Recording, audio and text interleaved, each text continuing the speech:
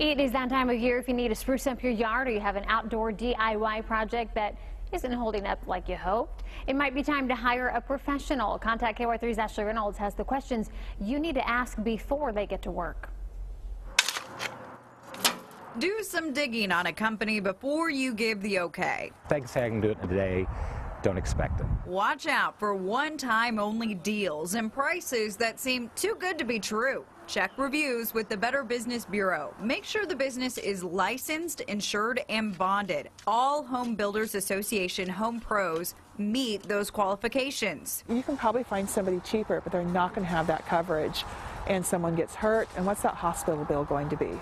Or if they hit the neighbor's garage and put a hole in it, now you're paying for that personally to get that fixed.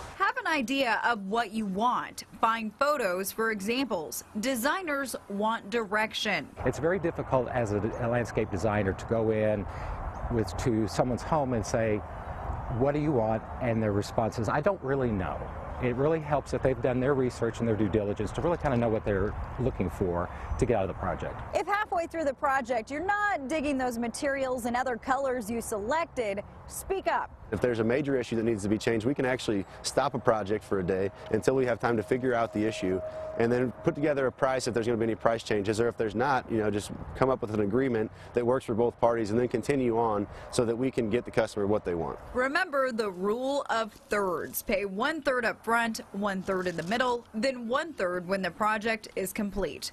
For Contact KY3, I'm Ashley Reynolds. And to see a list of businesses with those qualifications, just head to this story on the contact page, ky3.com.